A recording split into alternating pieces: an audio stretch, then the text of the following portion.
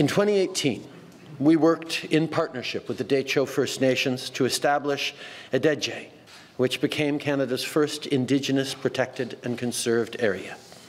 Edéhzhíe in the Northwest Territories represents over 4,000 square kilometres of land, protects headwaters, is home to boreal caribou, and is of cultural and spiritual significance for the Dehcho and Tlicho Dene.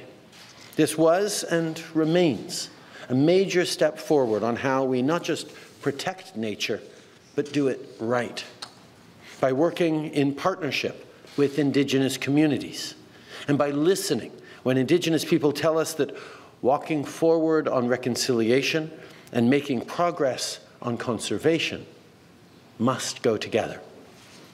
And if Edéhzhíe was a major step on the shared journey, then what we're announcing today is a leap forward.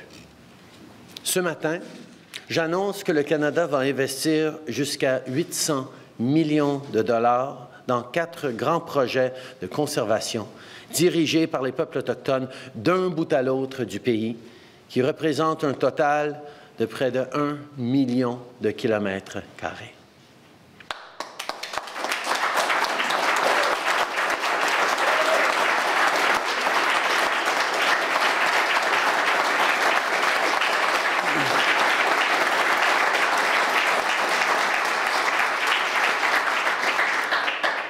Il va y avoir un projet de conservation dans la zone marine du Grand Ours dans l'ouest, un autre dans le nord de l'Ontario, le projet de conservation des Omushkego, un projet dans la région de Kikitani au Nunavut et un dernier projet dans les territoires du nord-ouest. Chaque projet est unique en son genre et dans quelques instants, leurs représentants vont vous en parler davantage. Canada will provide up to $800 million to support four major Indigenous-led conservation projects across the country, covering almost a million square kilometres. Each of these projects is different because each of these projects is design, designed by communities, for communities. On the Pacific Coast, in the Great Bear Sea, we're supporting uh, the group representing 17 First Nations to deliver an integrated bioregional marine conservation and sustainability initiative. Heading north, you'll reach protected boreal forests, rivers, and lands across the Northwest Territories in a project that's a partnership between 30 Indigenous governments across the territory, supported by the Government of Canada. From there, east and even further north will take you to the Qikiqtani region and a vast network of protected waters and land safeguarded through Inuit stewardship and governance founded on Inuit Kauyamayuk And then south to western James Bay and the world's third largest west wetland and a vision of stewardship led by the Omushkego Cree. Ces projets vise autant à, assurer, le bien-être des communautés qu'à protéger la nature. On sait que pour créer des emplois et favoriser une économie forte, il faut absolument lutter contre les changements climatiques. Eh bien, c'est la même chose pour la protection de la nature. Communities have been clear. Safeguarding lands and waters will help build a strong future for generations to come. As a government, our role is to listen and support that vision.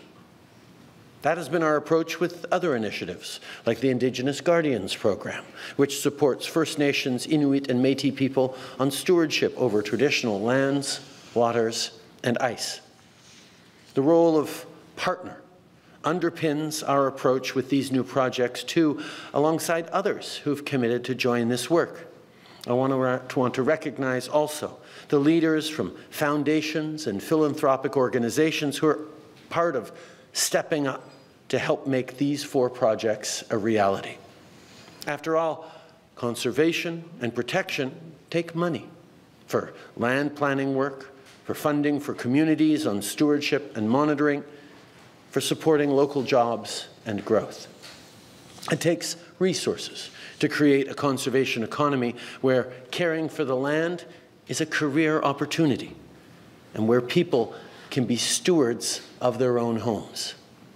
By working together, we're able to deliver that major necessary support no individual partners could provide alone. And that brings me to why it matters that we be announcing this today as Canada welcomes the world largest nature COP we've ever seen. Aujourd'hui, on a fait un grand pas dans la protection de la nature et on l'a fait en partenariat. Ici, tous réunis à Montréal, on appelle à tout le monde de passer à l'action. Le monde entier doit en faire plus pour protéger la nature, mais on doit aussi bien le faire. J'espère que les autres pays vont se mobiliser. On espère que les deux prochaines semaines vont confirmer notre engagement collectif pour mener une action mondiale. On a beaucoup à faire pour protéger la nature et on a beaucoup à faire pour avancer sur le chemin de la réconciliation. Mais aujourd'hui, on démontre qu'on le fait ensemble.